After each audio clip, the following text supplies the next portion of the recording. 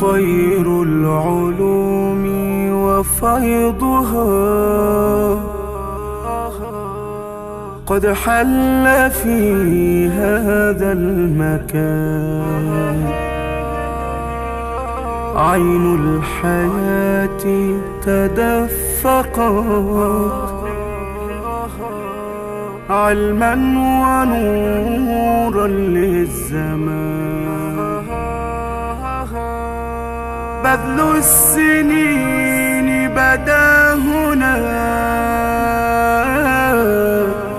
ليعيد أمجادا حساب كتب تحاكي عزنا. وتراث أسرار البيان وتراث أسرار البيان وتراث أسرار البيان اذا هذه شفنا أيضا يمكن أن نصطلح عليها غرفة لأن نعم. فعليا في كثير من. المكتبات وفي آه، كثير من آه. بيوت طلب طالب العلم ما شاء الله مش موجود عنده هالحجم. فهذه غرفة. هذه غ- تعتبر غرفة. غرفة. جميل هذه. هذه ملحقة دي كتب الايه الرجال وكتب ال- الأجزاء الحديثية والمسانيد. يعني عندنا مثلا ده مثلا آه، ده كتاب الثقات نعم. لمولاطاي مم. تمام؟ وده الجرح والتعديل ابن أبي حاتم. وده التاريخ الكبير للبخاري. وده التاريخ الأوسط. للبخاري هنا البخاري نعم وطبعا ده مثلا جنبه كتاب الكاشف آه، في التلخيص رجال. الكتب الستة للذهبي وجنبه لسان الميزان بطبعتيه ابن حجر. أو بثلاث طبعات اللي هي آه، عندي أدي طبعة الأولى خالص تمام نعم. دي طبعة الشيخ أبو الشيخ غدة أبو رحمة غدة، الله نعم. عليه أيوه وجنبية ودي دي عباس. الطبعة الأولى التي طبعت في الهند نعم تمام وهنا يعني آه، طبعا هو آه، يعني من ال- ال- ال- هذه الصفة دي والرفين دول إلى آخر المكتبة دي سنن أبي داود. نعم. وسنن آه، الترمذي وشروحها أبو داود وشروحه والترمذي وشروحه. ده اللي هو واخد لحد آخر الإيه؟ لحد آخر أبو المكتبة. داود وشروحه. وشروحه. آه اللي, اللي فوق ده. نعم. من أول هنا لحد الآخر. الآخر. واللي تحتي مباشرة خالص ده الترمذي وشروحه. تمام؟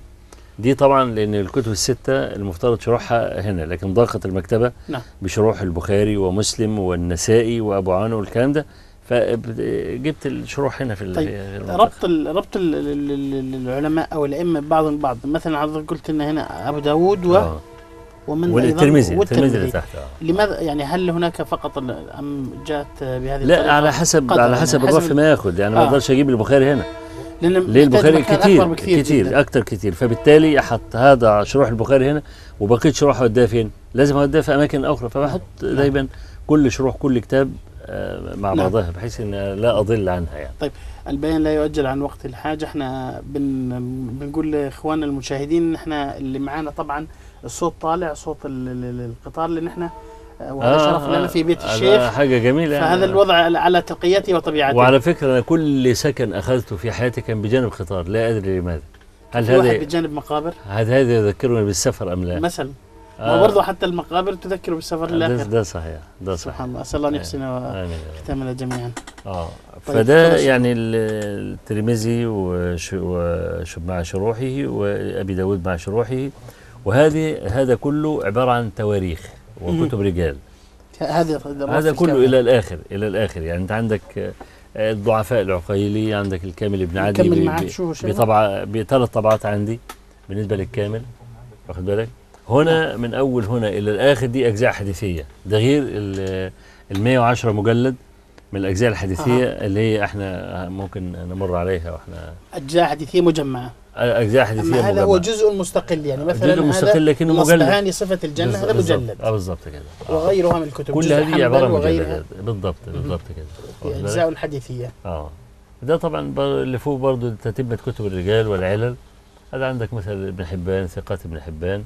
عندك آه بطبقات ابن سعد اهيت نعم. تمام؟ آه عندك بعديها هتلاقي كتب الرجال ممكن نمشي نعم. آه قليلا وهنا الأجزاء لا زلنا في الأجزاء الحديثية حتى دي كل دي كل أجزاء لحد الآخر نعم يعني دي لحد الآخر أجزاء حديثية تضاف إلى ال مجلد وعشرة اللي هي وهذه كتب رجال دي كتب الرجال ده التهذيب ده تهذيب التهذيب بتاع الحافظ. ابن حجر واللي جنبه ده تهذيب, تهذيب الكمال بتاع المزي. هذا المزي هذا له قصة كبيرة يعني المزي نعم. طبعا ده طبعا ميزان الاعتدال ولسان الميزان بتاع الحافظ ابن. حجر بطبعا طبعا ده طبعا مجروحين ابن حبان هذه كتب. شيخنا يعني حتى من باب إن إشارة في طيات الكلام حتى آه. لأنه من يتابعنا ليسوا فقط من المتخصصين مم. حين نرى كأن الأسماء مكملة لبعضها البعض آه طبعا بجيب كل كتاب وفروعه الكمال وملخصه في أسماء الرجال آه، ثم يليه. تهذيب الكمال ثم يليه تهذيب التهذيب آه تهذيب التهذيب وبعدين يليه برضو ده كتاب آه آخر في يعتبر كأنه تتمة نهاية ل- السول. نهايه السول نعم. في رواية ال- ال- الستة ستة الأصول الأصول، ال- نعم. الكتب الستة يعني تاخد بالك ده بعض الكتب كتب جامعية يعني من كتب آه كتب جامعية زي آه، دي مثلا نعم هذا من لكنه لم يتم طبعات جامعة أم القرى آه لم يتم الحقيقة بكل أسف لم يتم. وبعدين تذهيب التهذيب آه. للذهبي نعم عندنا تهذيب التهذيب لحافظ بن حجر ده. مختصر تهذيب الكمال ثم تذهيب التهذيب آه. تمام. اللي برضه الايه لل- للذهبي صاحب كتاب آه، تهذيب الكمال. تهذيب الكمال. تمام. وبعدين برضو ده الكتاب آه، إكمال تهذيب الكمال آه، بتاع مغلطاي. نعم. واخد بالك؟ آه، فمغلطاي يعني إيه؟ آه، طبعا منهج المزي الحقيقة في في الكتاب أنه أطال الكتاب بذكر حكايات في ترجمة الراوي من زهده وورعه ومحنته وأحواله مع الناس وبعدين بيرويه بسنده. مم. المزي انت عارف نازل سند نازل آه، جدا وأهمل كثيرا من أقوال العلماء في الجرح والتعديل فيما يتعلق بالراوي مع إنه الكتاب المفروض إنه كتاب جرح وتعديل ما هو جرح وتعديل بس لم ولكن يستوفي ولكن لم يستوفي. آه نعم. يعني حصل ما قدر عليه ولم يستوفي فجاء الحافظ بن حجر آه، آه، مسح من الترجمة كل ما يتعلق بالراوي من ورعه وتقواه والآخر وأبقى الكتاب على أصل مادته والجرح والتعديل نعم. لأن هذا الراوي أنا ما لا يعنيني حكاية حصلت له آه، فراسة من الف من آه، مواقف بتاع هذه لا لا تصلح في تصحيح هذا الباب والتضعيف طب تصحيح شيخنا في. الكتاب مرينا عليه كتاب سير اعلام النبلاء هو يذكر هذا وذاك؟ أيوة لأن هو لم يضع كتابه آه، لل- للجرح والتعديل. فقط. هذا الفرق. آه فقط. إنما ده كتاب سير اسمه سير. نعم. تمام؟ فهو الحافظ بن حجر شال كل الحو... ال- ال- ال- ال- ما, الحشو. ما, ما يخال ما الحشو عن الذي لا ينفع. في جرح الراوي وتعديله في باب الرواية واستفاد جدا بكتاب مغلطاي كتب تحاكي عزنا وتراث أسرار البيان. وتراث أسرار البيان. مشاهدينا الكرام السلام عليكم ورحمة الله وبركاته. الحمد لله رب العالمين والصلاة والسلام على أشرف المرسلين سيدنا محمد وعلى آل بيته الطيبين الطاهرين وصحبه البررة المكرمين ومن سار على ناجم إلى يوم الدين. ثم أما بعد أحبتنا في الله حياكم الله وبياكم وجعل الجنة مثوانا ومثواكم أمسية جديدة وحلقة جديدة مع شيخنا الكريم فضيلة الشيخ أبو إسحاق الحويني حياكم الله شيخنا. بارك الله فيك. بارك الله فيك. جزية الجنة. آمين. ورفع الله قدرك في الدارين. وإياك الله. تكلمنا في الحلقات الماضية عن آه، بداية قراءات فضيلتك والتي كانت آه، منذ المراحل آه، صغر سنك وكانت في بداية المرحلة الإعدادية ثم حبك للشعر وما اختصصته من الشعر في قراءاتك والتي بدأت منذ الصغر حتى مع الشعراء ترتقي يوم بعد يوم حتى وصلت إلى النابغة الذبياني الذي كان هو خلاصة ما أحببت من الشعر ثم كتابتك للدواوين والتي كانت تقريبا حوالي ثمان دواوين يحتفظ بها شقيق الأكبر الدكتور رزق و والذي كان هو أيضا صاحب فضل بعد الله تبارك وتعالى عليك احتفظ بها يعني. نعم مم. في احتفاظه بها وأنه صاحب المكتبة الأولى. التي. فتحت عينيك عليها والتي عرفت معها قيمة الكتاب. آه، سواء كان الكتاب الأدبي أو حتى الكتاب الشرعي تفسير خازن أي نعم وتفسير الخازن الخازن. ومسند ال- الإمام أحمد. الإمام أحمد رحمه الله أعتقد أن بعد هذا الحب للكتب آه، والكتب الشرعية آه، بدأت تفكر في أن يكون لك مكتبة شخصية وبدأت. تجمع وتصنع نواة هذه المكتبة ما هو أول كتاب اشتريته ومن أين كان هذا الكتاب؟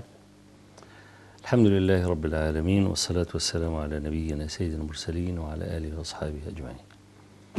آه، هو طبعا يعني لم يكن معي مال في الأصل حتى يمكن أن أشتري كتابا أو يعني يخطر ببالي أن أشتري كتابا.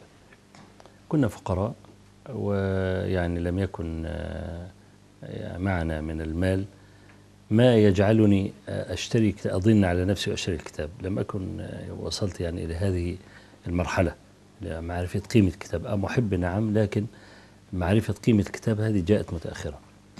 لكن أول كتاب اشتريته كان آه، في الكتب الشرعية اللي كانت نواة مكتبتي أنا هو آه، صفة صلاة النبي صلى الله عليه وسلم. عليه الصلاة والسلام الشيخ الألباني.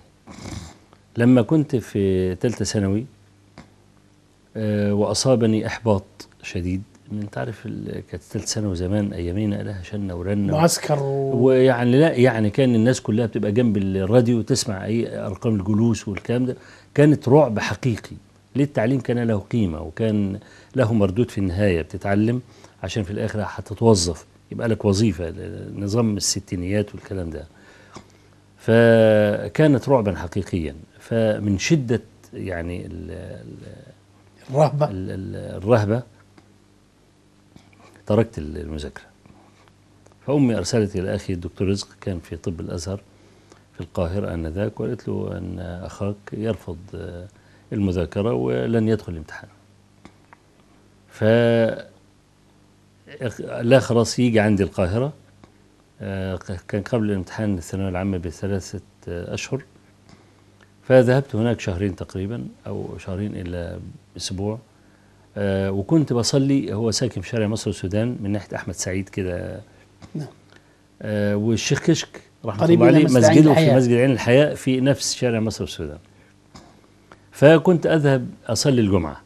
ما كنتش طبعا كواحد جاي من الأرياف وبتاع ما أعرفش كشك ولا كان فيه تسجيلات ولا شرايط ولا حاجة زي كده. لكن سمعت آه، من بعض أصدقاء أخي تعليق على آه، الشيخ كشك كان إيه تقريبا في فيلم وهو بيعلق عليه وماسك ال- البطل مسحه بالأرض ومش عارف إيه وكده. فسألت التشكيش كده فين؟ قال له ده على بعد مثلا محطتين أتوبيس في الشارع. رحت صليت عنده استهواني جدا. اولا لأول مرة في حياتي أسمع واحد بي بي باولا مفوه إلى هذا الحد صوته آه، فيه نبرة حزن ينتزع. الدمع من المآقي. واخد بالك؟ آه، طبعا إحنا كلنا كنا إيه بنصلي هنا في في الأرياف وبتاع الكلام ده. يبقى ياخد أي كتاب ويطلع اللهم انصر سلطان الغوري وعساكره وما تحت يقولوا آمين. ما بيفتح على اي حاجة حتى لدرجة إن عندنا في البلد. آه كنا في شهر تقريبا في نص السنة الهجرية. فهو بيجيب الكتاب والكتاب محطوط على المنبر. يوم طالع واخد الكتاب فتحه أنت وحظك. فجت ممكن الخطبه تطلع إيه؟ حاجة في رمضان آه في. هي ده اللي طلعت في رمضان فعلا. أيها الناس اعلموا أنكم آه، صائمون واحفظوا آه، ألسنتكم والصيام أنا عمال أستغرب صائمون في إيه؟ ده ده ده بيعملوا الغدا ونطلع من الجمعة نتغدى. ف يمكن عندكم كانوا غلطانين. صح يمكن شهر آه، أيوه بالمنظار. بالظبط. المهم آه، فكان ما فيش لا خطب ولا في حاجة خالص يعني. فكشك كان حاجة يعني قفزة كانت كبيرة تعلقت به جدا. وعدد المصلين لا طبعا المصلين الساعة طبعا أمم الساعة 10 أمم راحت راح أمم. أمم ما فيش. وطبعا تجار الكتب فارشين بقى كتب على على الأرصفة والكلام ده. استهواني. طبعا لم أفكر اطلاقا أشتري كتابا معيش فلوس. وعفوا والمشهد غير مسبوق لك فرشة الكتب لا لا المسجد. لو الناس الناس نفسها اولا كان في آه، خلف المسجد آه، عين الحياة آه، واحد اثنين ثلاثة أربعة خمس أدوار على مساحة على الأقل 500 متر. دي كلها بتبقى مليانة ناس والمسجد لا يطمع أحد في دخوله بعد الساعة 9 الصبح. وواحد يقف على باب المسجد يمنع أي حد من الدخول للناس ركبت بعضها في المسجد. فضلا عن الشوارع. مليانه على اخرها وكل واحد يجيب سجادته ويفرشها وبتاع. لا مشهد. كان مهيبا جدا لي بالنسبة لواحد لأول مرة يرى مثل هذا. فكنت أطوف بعد ال- الخطبة على الكتب لكن لا أشتري لأن لا لا أمتلك مالا. لحد ما في يوم من الأيام وقفت على صفة صلاة النبي صلى الله عليه وسلم الشيخ الألباني وفتحته قرأت صفة الصلاة المقدمه ولا مختصر صفة الصلاة؟ لا ما هو لا وقفت الأول على على مخت... صفة صفة, الصلاة. الصلاه نعم. كان ب 30 قرش. مكتوب عليه 30 قرشا. وأنا واقف قرأت المقدمة. حبيت الكتاب جدا. بصيت في الكتاب لقيت طبعا في متن وحواشي. الحواشي البخاري وابن النجار ومش عارف مين. يعني إيه؟ والأحمد وفي المسند والبغوي. أسامي جميلة وحلوة بس مش فاهم حاجة. لكن المقدمة أثرت جدا فيا. جدا. مقدمة الشيخ الألباني وهو في ضرورة اتباع النبي عليه الصلاة والسلام وأنه لا ينبغي أن يقدم أحد عليه. طبعا الشيخ كشك آه، رحمة الله عليه كان له فضل علي في تفجير عاطفتي نحو ديني. حبيت ديني جدا من الشيخ عبد الحميد. هو وضع اللبنة الأولى ثم التوجيه كان بفضل الله. على كتب الشيخ ناصر. فلما كنت أسمع الخطبة منه وأنا طالع باكي ما فيش خطبة طلعت منها غير باكي من خطب الشيخ كشك. آه، أنا صليت عنده خمس سنوات حتى بعد ما جيت من الجامعة كنت أصلي عنده دائما لحد ما تركت ال ال ال الصلاة عنده لأن ما وجدت لا أستفيد شيئا وكنت بدأت أقرأ في علم الحديث ولقيت ان معظم الأحاديث اللي بيجيبها الشيخ كشك من الأحاديث الضعيفة ضعيف. الموضوعة فزهدت في السماع لكن الحقيقة كنت أخرج باكيا من الخطبة. لسه سخن. فلما أقرأ في أي كتاب. كتاب, فعلى طول ألاقي الثمرة بتاعته موجودة. بحب ديني لسه باكي شوية من أحاديث وحكايات وإلى آخره. فخرجت من خطبة من الخطب وأنا باكي. كان حتى ذكر في يومها حديثا موضوعا وأنا لقيت واحد آه، شيبة كبير كده يعني أقدر سنه فوق السبعين ولحيته بيضة. وكان ال- ال- الشيخ كشك بي- بيتكلم عن بر الأم. فذكر الحديث وبطريقته بقى اللي اللي تخليك تعيط إن شاء الله تكون حجر. آه قال إذا مات ابن ماتت أم ابن آدم نادى مناد من السماء يا ابن آدم. ماتت قد ماتت التي كنا نكرمك من أجلها فاعمل صالحا. نكرمك من أجلي. أنا لقيت الراجل اللي هو 70 سنة ده ولحيته بيضة ده بيبكي بحرارة. أحسست أنه كان يعق أمه أو كان شديد الحب لها. يا هو لازم لا لا وسط. لا واحد من الاثنين لأن بكاؤه كان مريرا يعني بيبكي لدرجة إنه كان بيتنفض. أنا بكيت لبكاء هذا الرجل لحد آخر الخطبة لأنه ظل يبكي. قلت بقى إما أنه عق أمه بشدة أو بشدة بره أو بشدة. أنه كان برا بها بشدة. الله. فسواء هو هذا أو هذا بيعمل له حسرة على طول. بعد الخطبة دي وبعد ال ال هذا المشهد طلعت بقى عشان أتفرج على الكتب ووقعت على إيه؟ صفة صلاة النبي من التكبير إلى التسليم كأنك تراها. حسيت إن عايز الكتاب ده بالذات. ليه؟ لأن كأن أنا واقف بقى أشوف النبي بيصلي. أنت القصة كلها آه. حاضرة في ذهن حضرتك من بداية الخطبة ثم الانفعال آه، بالكتاب آه، ثم آه. شرائه. آه. أو يعني مسكت الكتاب فتحته وقرات وأنا واقف المقدمة وأنا واقف. دخلت قلبي على طول. ومعرفش ليه حسيت وقتها كأن ينبوع حب النبي انفجر في قلبي. الله أكبر. يعني أنا ما ما ما- يعني أذكر أنه انتابني شعور لم أشعر به في حياتي اطلاقا. قرأت المقدمة كلها وحسيت إن الكتاب ده روحي. قلبته طبعا على الناحية التانية عشان أشوف سعره كام. لقيته إيه؟ 30 قرش. أنا معيش فلوس يعني. كان معايا شلن آه، خمسة خمسة قروش بس يعني اللي كانوا في جيبي. آه، المهم قعدت أبص له كده كنظرة المحب المتيم لشيء لا يناله يعني. حطيته ما أقدرش أخده طبعا وقعدت لقيت تلخيص صفة صلاة النبي. عبارة عن آه، 32 ملزمة يعني من القطع الصغير. ملزمتين 32 قطع صفحة. الصغير فرحت جدا بيها ببص لقيتها بشلن هي اللي, ده اللي كان في جيبي. بس. ده اللي كان في جيبي. عديت الشلن بدون ما أقرأ في الكتاب. خدته وما تحملتش إن أنا يعني آه، أصبر حتى أذهب إلى البيت. قرأت في السكة وأنا ماشي. وطبعا ده يعني أمر خطير جدا على من يمشي في شوارع القاهرة. آه، طبعا تلاقي ال- الشارع رايح جاي وهو رايح بس أو جاي بس يعني. وأنت قاعد تقرأ. وأنا عمال أقرأ وأبص وأقرأ أبص على ما وصلت إلى المسكن كنت قرأت الإيه؟ كتاب كله. الكتاب اللي هو 6 16 صفحة أو 18 صفحة فيما أذكر. يعني أول كتاب شدك هو صفة الصلاة آه. لكن أول كتاب اشتريته هو ملخص صفة هم الصلاة. تلخيص صفة الصلاة. ده أول كتاب كنت أقتنيه بفلوس بفلوسي يعني واخد بالك؟ نعم. لحد ما آه، صرفنا ال 14 جنيه ونص اللي هي مكافأة التفوق في نعم. الكلية. لأن أنا كنت بطلع يعني من الأوائل على هذا في السنة الأولى. في السنة الأولى آه. نعم. لا طيب. في مش في السنة الأولى في السنة الثانية. ما هو بعد ما طلعت سنة أولى ظهرت النتيجة. من أول سنة ثانية بدأت إيه؟ يبقى لي رأس مال. ده اللي بدأت أشتري كتب مجلدات.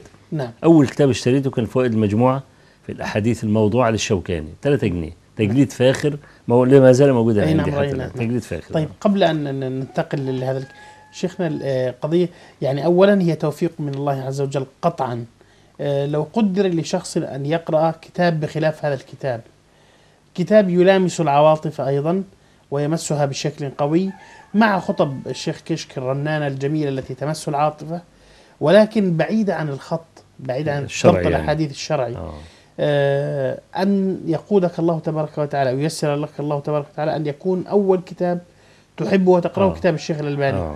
آه. هذه رسالة أي طبعا آه آه. تحملك إن, أن اسمك بعد ذلك ارتبط بالشيخ الألباني أحد آه تلاميذ الشيخ الألباني وال- ورحلتك للشيخ الألباني رحمة الله عليه وإهداؤه للكتاب الذي بذل فيه عمرا آه. مخطوطات نعم منتخب مخطوطات مخطوط. الفهرس المنتخب من هذه كلها أعتقد أنها أولا إذا أراد الله أمرا هي هيأ له أسبابه. طبعا طبعا أعتقد إن لو كان الصورة مختلفة أو الكتاب اللي قرأته كتاب آخر كانت الطريقة كانت والله مختلفة. شوف أنا يعني في في فاصل آخر غير مرئي وهو أنني لما دخلت كلية الألسن قسم اللغة الإسبانية آه، مع ما أعلمه من الفردوس المفقود وحضارة المسلمين في الأندلس وكيف انتهت هذه الحضارة فبقى عندي عاطفة ناحية إسبانيا نعم كثمان قرون المسلمين ظلوا فيها ثم خرجوا منها كأنه فص ملح وداب ما فيش آه، فأحببت اللغة الإسبانية جدا. وانتويت بيني وبين نفسي أن أكون عضوا في مجمع اللغة الإسبانية. ولذلك تكلمت الإسبانية من سنة أولى. وكانت الدكتور علي كنت العناني كثيرا؟ أقرأ كثيرا آه في لذلك أصبحت ratón؟ ratón بالظبط ratón آه، كان يقول. عليه آه، أيوة. بعض زمايلي كانوا يقول عليه ratón ratón ratón de. biblioteca يعني بالاسباني فأر المكتبة. الميل الجملة؟ ratón de biblioteca يعني اللي هو المكتبة. فأر يعني، المكتبة. آه، فأر المكتبة. هذه كان لأن لشغفك بالمكتبة آه ومكتك كنت فيها دايما لفتره آه، لما طويلة. كان مثلا الدكتور يغيب آه، ما يجيش يعني معيد ما يجيش بتاع الكلام ده كنت أنزل المكتبة على طول. أنزل المكتبه أقرأ. وكنت سمعت الدكتور علي العناني آه، علي إبراهيم العناني كانت رئيس القسم آه، ما أدري هل هي حية أم ميتة. آه، إن كانت ميتة فرحمه الله عليها. آه، كانت تقول أفضل الترجمة أن تترجم الشعر إلى شعر والنثر إلى نثر فأنا كنت بكتب الشعر. نعم. فكلفت ببعض دواوين الشعر الإسباني فكنت أنزل المكتبة علشان أقرأ وترجم. ترجم إلى شعر عربي. أترجم الشعر العربي طبعا الكلام ده في أواخر سنة أولى. طبعا على ما يعني اللغة آه، من شدة حبي لها كنت بحفظ الكلمات بتاعتها. ديوان كورينتي اللي إحنا كنا بنعتمد عليه لغة إس- إسباني عربي. ده كنت أحفظ كثير كتير منه. قاعد أحفظ كلمات يعني. فحتة إنك تبقى عضو في مجمع اللغة لدوله لغة أخرى والكلام ده أنا كنت أعلم أنه يحتاج إلى مشقة بالغه فكانت دي أمنيتي بصراحة. كنت أقرأ في في العلوم الشرعية قراءة شادي يعني واحد محب وخلاص. ما بدأت أتعلق بالعلوم الشرعية حقيقة إلا في آخر سنة أولى جامعة. لكن في خلال سنة أولى كنت أقرأ في العلوم الشرعية وكل حاجة لكن كان قلبي وهواي متعلق بكيف أكون عضوا في مجمع اللغة الإسبانية. آه إسباني. وآخذ جنسية إسبانية واقعد في إسبانيا كمان. فده ده كان أملي رقم واحد. حتة العلوم الشرعية اتتني كما قلت في آخر سنة أولى. نعم. لما طب قبل شيخنا هو أنت ليش اخترت ال- ال- الدخول إلى كلية الألسن؟ من غلبي. أنا دخلت كل من غلبي. ليه؟ لأن أنا كنت بذاكر و... وعايز أبقى طبيب كبقية اخوتي اخوتي نعم. أطباء. كنت عايز أبقى طبيب وكان عندنا حلم قديم إن نعمل مستشفى اسمه مستشفى الإخوة وكل واحد ياخد تخصص والى اخره لكن آه لا أنا ما حصلتش في سنة آه، كنت في سنة ثالث سنه وجبت 79 في المية وكانت أول سنة في مصر يبقى فيها مستوى رفيع. سنتي أنا سنة 75 75 تمام؟ آه الأول عندنا في الثانوية العامة في سنتي كان جايب 107% البدعة التي لا هي موجودة في الأرض ولا في القمر ولا في المريخ ولا في أي حتة. أق- أقصى حاجة 100% لا إحنا كان الأول على الجمهورية عندنا جاب 107% فكان ال 93% و97% ده على ودنه يعني حاجة كتير قوي يعني. فال 79 ده فوت علينا بكرة آه يا سيد. لا ما فوق روح بقى شوف لك صرفه بقى. الحقيقة 79% أنا جبتهم. لو أنا ركزت شوية كان ممكن طلعت التسعينيات. بس أنا الحقيقة في اللي هو ال- ال- الإحباط أو الشعور الذي لازمك قبل الامتحانات بثلاث أربع لا شهور؟ لا مش ديت. ما خلاص أنا لما رحت ال- ال- القاهرة أذاكر آه، آه، أخي عنده له طريقة جميلة في إنه يحمسك. كون كانت روحي في السماء وأنا في في القاهرة. ليه بيشجعني على طول والتفوق و... وانت ذكي وكويس وبتاع الكلام فكنت إيه بطير بجناحين لما بسمع الكلام ده. ونفسي تفتح وأنا لما نفسي يعني ت- ت- ترجع لي. آه، أشتغل. يعني علم يعني أنا يعني مثلا الكلام ده من زمان مش من دلوقتي. لا لا من زمان من زمان. يعني حاليا أنا مع ظروفي الخاصة في الصحية الحمد لله بقعد على المكتب آه، 16 ساعة. يعني أنا صبور جدا على أن أجلس على الكتاب وأكتب وأحقق عندي نفس في المسألة دي. نعم. المهم ال- رجعت لل- من رحلة القاهرة وأنا في الثانوية العامة وأنا كل نشاط وكده. لكن الآفة التي أنا أحذر منها الطلبة في الامتحانات إن يطلع يراجع. بعد ما يطلع امتحانات يجيب يراجع مع زمايله ال- الأجوبة اللي عملها في الامتحان. نعم. فأنا يوم الاثنين كان علينا ميكانيكا. ويوم الثلاث كان أجازة. فكان عندنا طالب إحنا بنسميه الخط في الميكانيكا. يعني ده رقم واحد في الفصل عندنا. المهم الميكانيكا كانت من 15 طلعت أراجع معاه لقيت كان هو ثلاث مسائل أظن لقيتني ملخبط في مسألة ونص على الأقل. قلت هسقط في الميكانيكا. وخلاص قررت إن أنا هسقط في الميكانيكا وكده هفشل في امتحان الثانوية العامة ويقال راسب ودي كانت سبة طبعا فقلت أحسن حاجة ما أكملش امتحان. ويبقى مرض عمل أي حاجة غلبان ما دخلش امتحان غير ساقط. ساقط كانت فضيحة بجلاجل عندنا. حتى في أيامينا اللي ياخد درس ده يبقى اسمه دلدول بليد. فلو كان رايح لمدرس عشان يدرس له لازم يتدرى في الحيطة. زمان. أنا أذكر ما خد ما خدش درس في حياتي يعني. الآن اللي أصبح كأنه هو أهم المنهج. ده ال- المدرسة هي الدرس. وما عادش حد بيروح مدارس يعني. المهم لما طلعت أراجع ولقيت نفسي غلطان في مسألة ونص قلت خلاص لن أكمل الامتحان. قلت لأمي أنا مش هكمل. إزاي مش هكمل وبتاع؟ الثانوية العامة بقول لك كانت رعب. يعني كلمت أخويا. قالت له ده أخوك رافض إن هو يدخل الامتحان جالي من القاهرة. وقعد يقنعني يقول لي يعني حتى ادخل اكتب أي حاجة. بس بس تدخل الامتحان وتنجح. أنت عارف العار والناس يقولوا سقط وما سقطش وبتاع الكلام. وعيد السنة. ادخل وعيد السنة بس ما تسقطش. فدخلت والكلمة دي في ودني. قلت خلاص طالما أخويا الكبير قال لي هتعيد السنة ما يهمنيش بقى ما أنا كنت خايف من أمي خايف من أخويا يقول له سقط بتاع. فدخلت أجيب بمنتهى اللامبالاة. السؤال اللي يعجبني أجاوبه واللي ما يعجبنيش أجاوبوش. تمام؟ وعندي لا مبالاة قلت ما أنا هعيد. فأتعب نفسي ليه؟ وأعصر دماغي وأكتب ومش عارف وأنا هعيد. تلقى فبالتالي فجبت 79 فبالتالي فجبت 79 79 وأنا تقريبا ما كنتش بجاوب. يعني كنت وفي بعض الأسئلة تركتها. عايزة تفكير. أفكر ليه؟ ما أنا هعيد. اقلب. فلما جبت 79 وخلاص وأنا بقول له خلاص أنا هعيد. قال له تعيد إيه؟ في حاجة اسمها تعيد الثانوية العامة؟ ده لا انسى الموضوع ده. لا لا لا لازم تشوف لك صرف كلية. طبعا 79 ما, ما تجيبش حاجة. يعني ما فيش مع ومع كمان مع المستوى الرفيع. آه مع المستوى. أنا المستوى الرفيع دخلت اخترت لغة عربية وجبت 8 من 10 المفاجأة لما طلعت النتيجة لقيتني جايب 13 من 15 في الميكانيكا. الله. والخط؟ آه واللي ما أعرفش الخط. طلع على الصعيد على طول. الله يسامحه.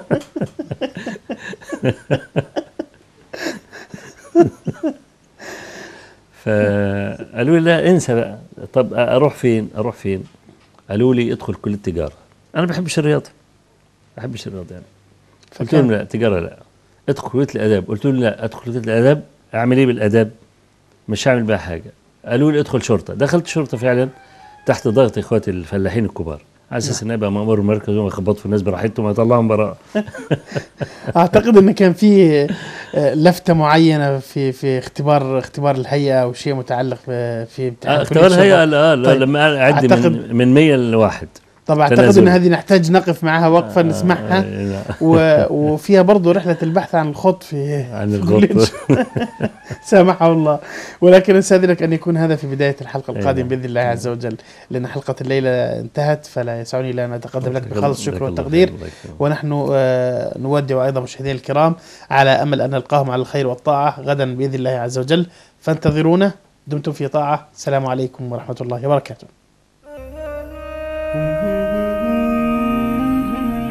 خير العلوم وفيضها.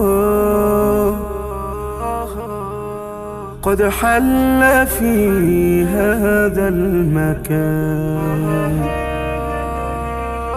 عين الحياة تدفقت